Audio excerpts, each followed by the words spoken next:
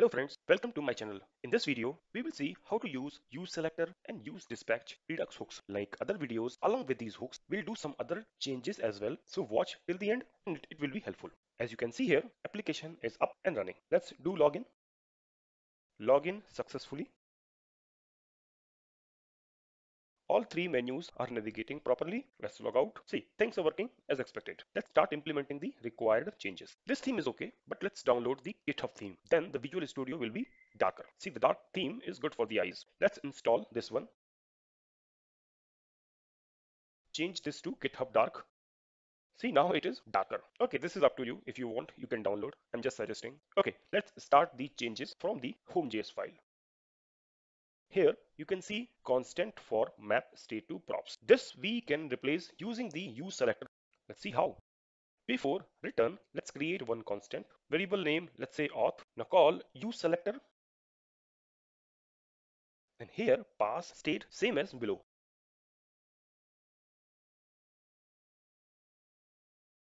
No need to return anything and see that's it. It's very simple. Now remove map state to props and connect function from export default. Now auth is not coming from props, so remove props and get the username from auth constant, which we declared for use selector. Remove the connect input as well. As you can see, home.js code is pretty simple and straightforward now. So like this, we'll do similar changes in some other JS files also. Let's open the navigation bar JS file. Here also you can see both, I mean map state to props and map dispatch to props constant. First, let's use use selector hooks. Here, this logic is same as the home.js file. Okay, we replaced map state to prop from use selector. Now we'll replace map dispatch to props from use dispatch. Let's create one more constant, give a variable name like dispatch. You can give any name. Now call use dispatch hooks. Now to call logout user, we'll use dispatch instead of props. Same code even you can see at line number 73 also. Now remove all unwanted code.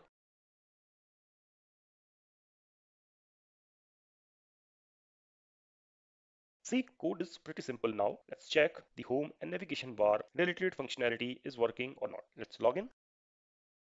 Welcome message is coming, which means home.js is working. And navigation also working, which means navigation bar JS is working fine. I hope the changes are clear for you. You click or mouse over the logout action, then we can see the logout user action code in the tooltip or suggestion. So if it is showing or navigating, that means everything is okay. And instead of just passing false, let's pass JSON which is similar to authenticate user. Now it is much better. Here, instead of directly using the URL, let's declare a constant and use that constant variable. That is better. So this is authenticate user action and this used inside the login.js file. And obviously this action is calling by using map dispatch to props that we replace with use dispatch hooks.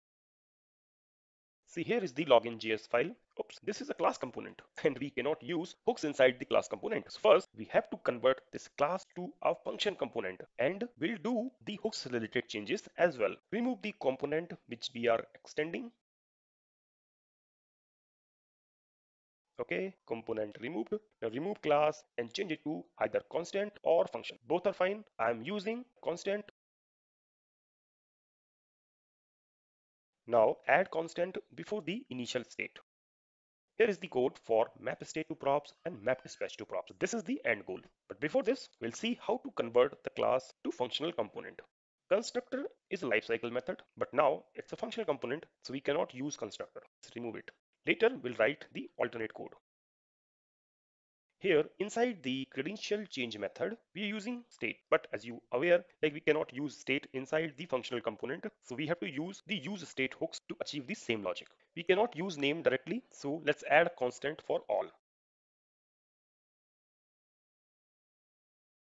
Again, render also a lifecycle method. So let's remove this as well. Now here we are extracting email, password and error from the state. Remove the error and for error let's declare use state hooks.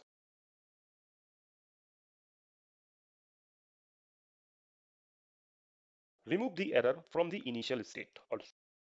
Here inside the validate user change the logic for error. See, it's simple. Similarly, like error, we are using email and password. So either we can declare a state for each or let's declare a state for the user.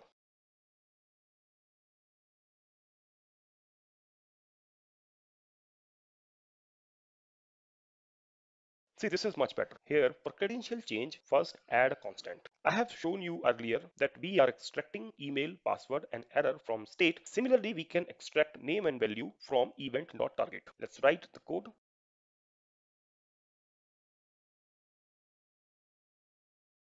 I hope this is clear. Now call set user.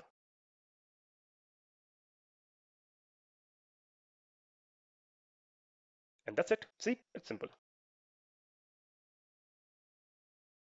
Okay, now let's create a constant for use dispatch. Now pass authenticate user call to dispatch and for email and password extract them from the user. Okay, so this is done. As you can see, map state to props code is similar to other JS files, so we'll follow the same approach. Now let's remove this code. Okay, as you can see here, we are using set timeout. So now let's use a different approach. After dispatch, we can call then and catch. And we can extract a result from the response.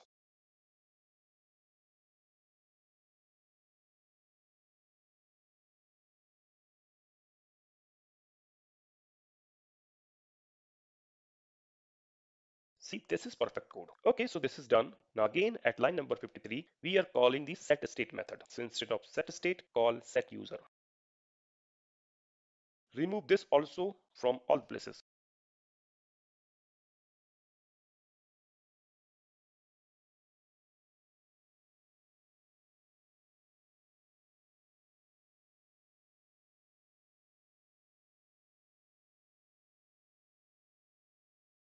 Okay, done. Let's go through the changes one by one. Now this is pretty much simple and straightforward. As we removed the set timeout, so we have to do some changes in authenticate user action as well. Here, dispatch type login request. Let's declare outside like other constant.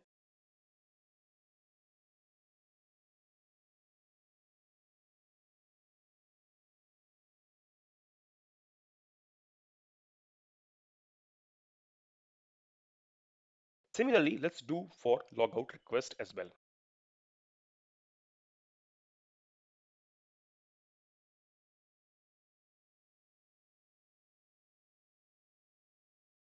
Let's return back to authenticate user. So here after arrow, add a dispatch as well. And as this should be an asynchronous call, so add async as well. Now remove login request, dispatch call from return. Add try catch block. Axios post call will move inside the try block. Use credential JSON directly. Move dispatch failure to the new catch block. Let's do some more changes. Add await before Axios. Hold a post Axios call to the response constant. Remove the then dependency because then we were using in React component when we did the dispatch call for the authenticate user. See now code more optimized. Here at the end we have to return promise. But before that, what is promise? A promise object is simply a wrapper around a value that may or may not be known when the object is instantiated and provides a method for handling the value after it is known, also known as resolved or is unavailable. For a failure reason, we'll refer to this as rejected. Okay, I'll simplify this. So if it is an asynchronous call, so initially the response value won't be there. So we have to wrap the response object inside the promise resolve method. Don't worry, I'll show you. It's not that complicated complicated, simple. And in case of error, call the reject method of the promise. Okay, so this is done. This is the perfect code. Okay, so all the changes are done. Now let's try to log in and see login is working or not. See, it's working. Here you can see the success message is not in our control. I mean, we cannot close that and it is not automatically hiding. It's always visible. So let's do some changes. Here is the alert related code. Let's declare one state for show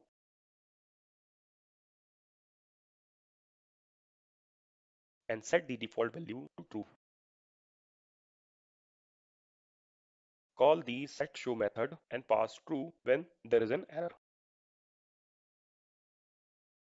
And show this as part of the condition. And add a dismissible property for alert. Now because of this code, close icon also will appear, but to activate that icon, we need to call the onClose method. And here, directly using the arrow function, set show value, we can change from true to false. Okay, let's check it is working or not.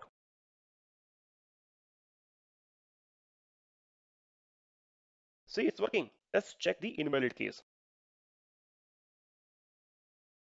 See, this is also working. Okay, so login component is done. Now let's apply the similar changes to the register component.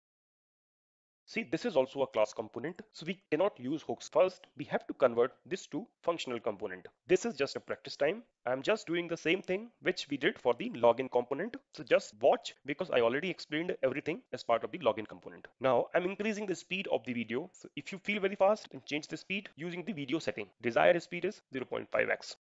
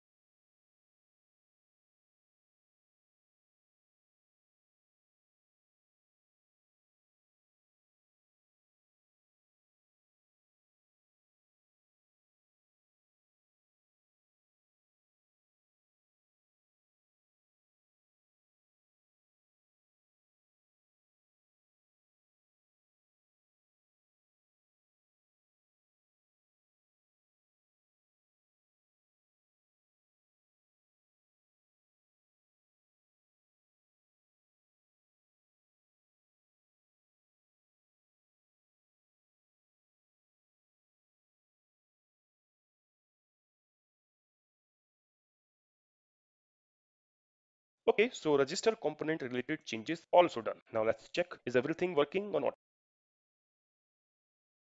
And see, things are working. Let's log in using the newly saved user. See, this is also working. Click on menus it's working. So everything is working. After adding the changes related to redux hooks. And those hooks are use selector which is a replacement for the map state to props and use dispatch which is a replacement for the map dispatch to props. Don't worry about the code that you can find it from the github. I will show you from where you can find this code